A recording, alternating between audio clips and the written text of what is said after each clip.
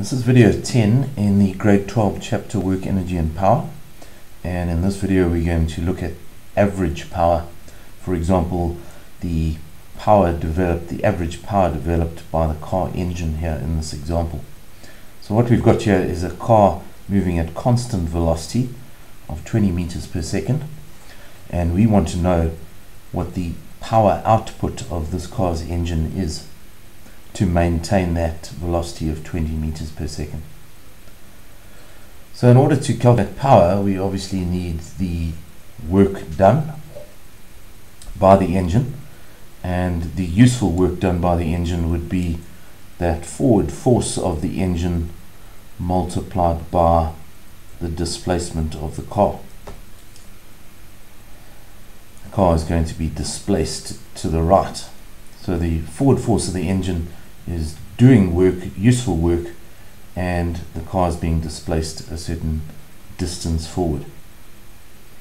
To calculate power, we'd need to know how much useful work was done per unit time.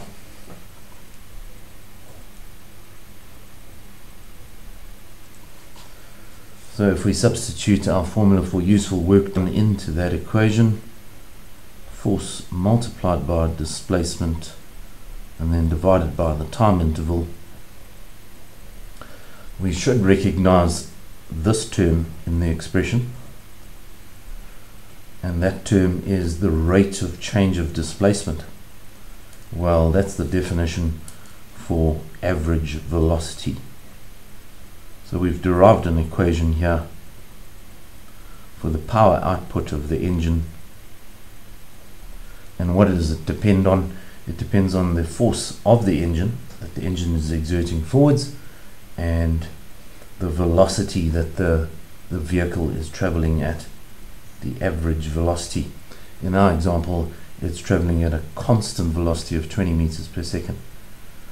So to calculate the power output of the engine, let's suppose that the forward force of the engine is 1000 newtons and the vehicle is moving at 20 meters per second so it's 1000 multiplied by 20 that's going to give you 20,000 watts So this vehicle, its engine is doing 20,000 joules every second and that's the power output of the engine. Let's understand that when a car moves at constant velocity, as soon as you see that word constant velocity, then you realize that the forces are balanced and the forward force of the engine is exactly equal in magnitude to the frictional force. So this frictional force would also be a thousand newtons. Okay, so that's the formula for the average power output of this engine. It would be the force of the engine multiplied by the, the constant velocity that the car is maintaining. If a car were to be speeding up, then we'd work out the average velocity at which it's traveling and multiply that by the forward force on the engine. Let's look at a second example. This uh, example is on page 51 of your notes and if we go there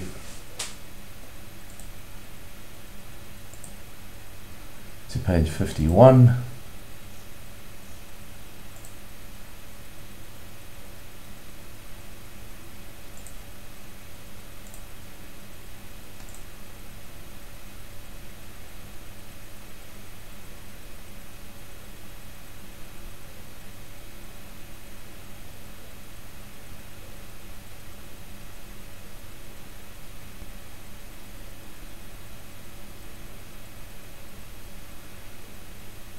we're looking at a vehicle of mass 2000 kilograms which is traveling up an inclined plane at a constant speed of 8 meters per second so those words constant speed are important because when that happens the forces are balanced and the net force is zero. This plane is inclined at 25 degrees to the horizontal and while the car travels up, drives up the hill, there's a frictional force of 1,500 newtons. So I want you to pause the video and attempt those questions.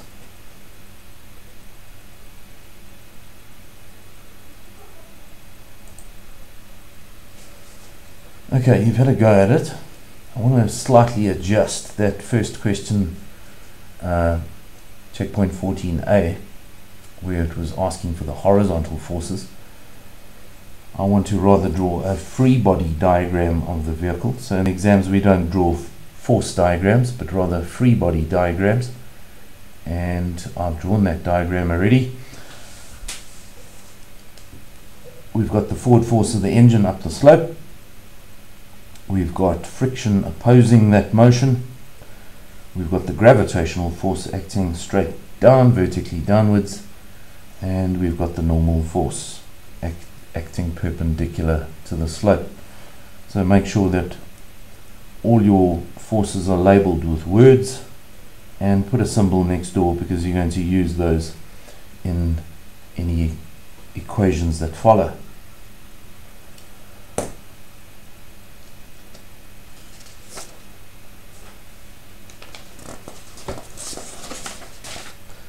Part B is asking for the force of the engine. We need to calculate the force of the engine. So I've got a couple of the forces here already in the diagram. We've got the forward force of up the slope from the engine, so we're looking for that. And we've got a gravitational force which we know has components parallel and perpendicular to the plane. So if we slide our ruler across and draw a neat diagram,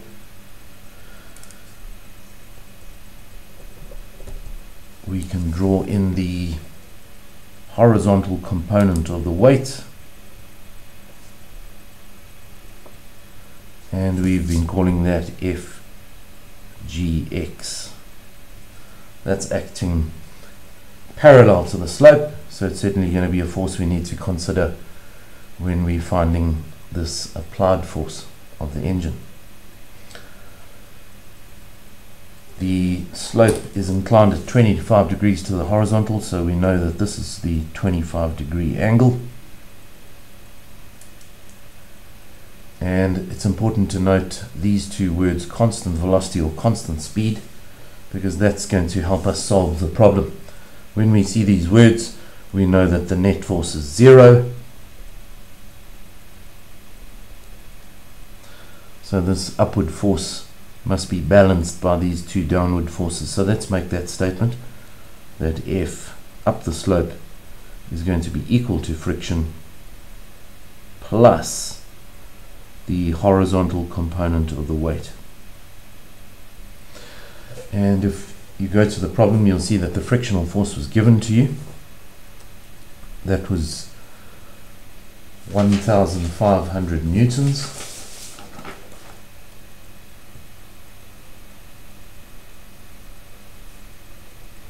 And then we need to add to that the horizontal component of the weight. And we know that to be f g sine theta. And theta here being 25 degrees. So let's carry on with the calculation. We've got our frictional force. To that we're going to add fg which is mg the weight times sine 25 degrees.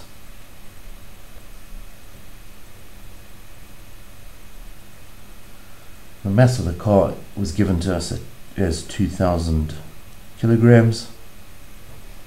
G we know to be 9.8 multiplied by sine of 25 degrees. So we still got our frictional force, which we know, and to that we're going to add 8,283.92 newtons. So that is the horizontal component of the weight down the slope and that gives us our answer for our forward force of the engine of 9,783.32 newtons up the slope.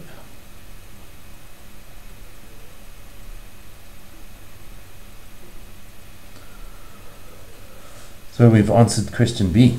We set out to find the forward force of the engine and we knew because it was traveling at constant velocity that these forces needed to be balanced. The downward force is balanced with the upward force and we made that statement and we finally came to 9,783.32 newtons. Please don't forget to work out the horizontal component of the weight down the slope.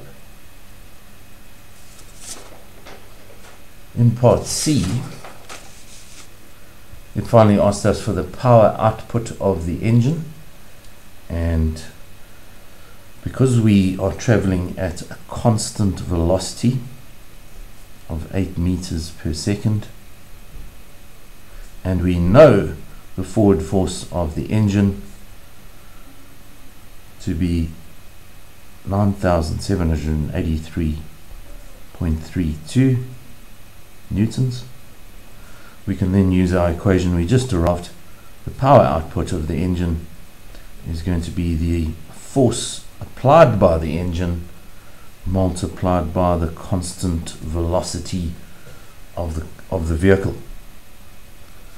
So that's 9783.32 multiplied by the 8 meters per second and we get our, ourselves an answer of 78,266,56 and the unit for power is the watt. So there's the power output of the engine and that forward force would be doing positive work on the car and doing useful work on the car and the rate at which work is being done by that engine would be nearly 80,000 joules per second.